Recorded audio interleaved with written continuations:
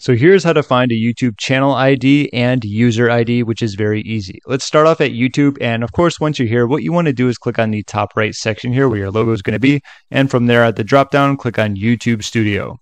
Once you are in YouTube Studio, what you want to do is click on this gear right here where the settings section is. Upon doing so, next we're going to be going to channel. And from channel, in the middle tab is going to be advanced settings. Let's click that.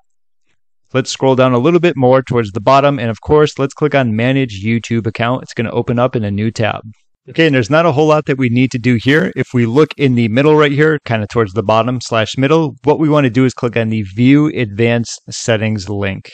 On doing so, we are going to have the information that we were looking for. Up top is going to be the user ID right here, and of course the channel ID. Whatever reasons you might need to use that for is going to be up to you. Maybe you want to give the channel ID to someone where you can search for it, get more stats, whatever it's going to be. I know a lot of people don't use that as much anymore. They kind of just use like the actual handle when searching for a YouTube account. So it might be a little bit older, a little bit old school, but that's the way you can go about getting your user ID and channel ID when it comes to YouTube.